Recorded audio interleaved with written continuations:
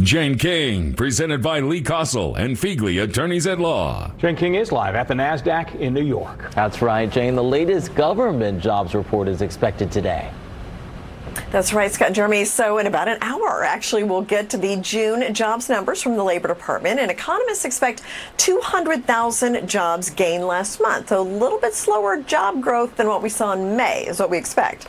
There are some signs kind of bubbling underneath the economy that maybe the labor market is getting a little bit weaker. So this number is going to be very key today. Well, Walmart may face a class action lawsuit. Walmart must face a class action, a class action lawsuit that ruled that the retailer over overcharged customers with deceptive and unfair pricing practices.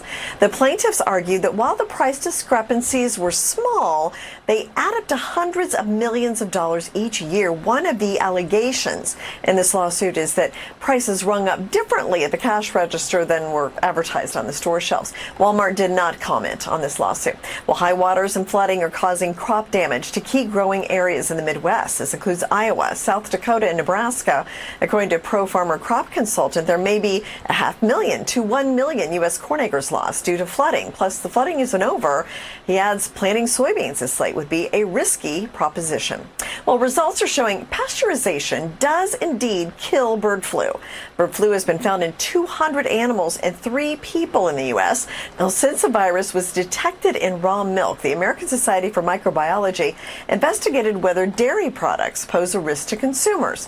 Researchers say that milk processing includes multiple layers of protection and it can destroy bird flu as well as other common bacterial pathogens. Well, the S&P 500 and Nasdaq rose to new highs in Wednesday's holiday shortened trading session and today we're quiet as we wait on those job numbers which will be out at 8:30. Live from the Nasdaq market site. I'm Jane King. Back to you. Another tapering off of some of our COVID habits. The fever for pools is starting to cool.